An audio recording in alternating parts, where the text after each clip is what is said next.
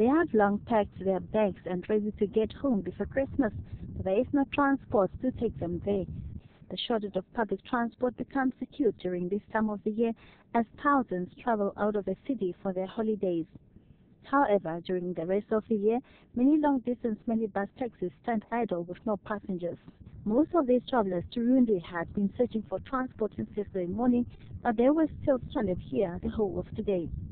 When one in-vehicle showed up, everyone wanted to register, but unfortunately only a few could be accommodated. We are here for yesterday, since yesterday. We didn't get transport. So we are still waiting for transport. Uh, I, I don't know. Maybe uh, the transport uh, uh, department can, can, can also hear us. This is also the time when many bus taxi travelers work overtime for extra cash, but amid a lot of complaints from the travelers over overcharging. Even the, immediately when the transport or the combi will arrive, there, immediately people are just stopping for it. And even everything, is, according to the price, also they are charging there is getting worse. It's more than they used to charge every time.